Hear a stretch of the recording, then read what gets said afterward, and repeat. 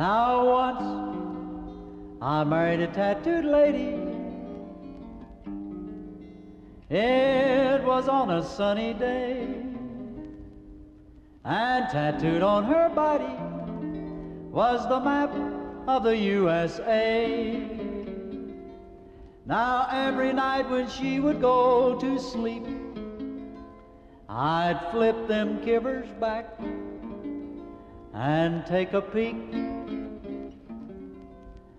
Up on her neck was Louisiana, on her chest was old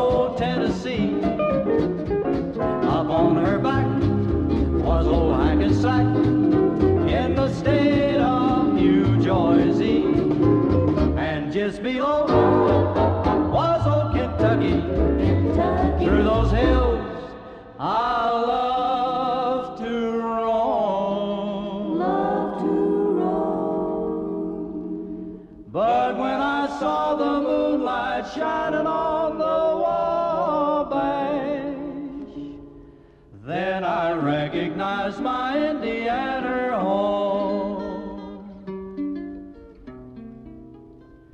On her back was Brazil, on her chest was Bunker Hill, and just a bit below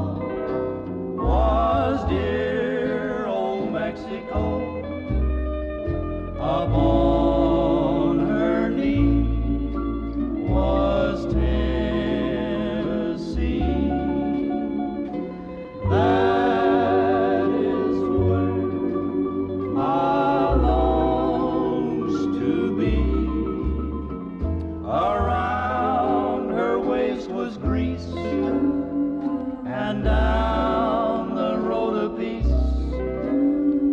I saw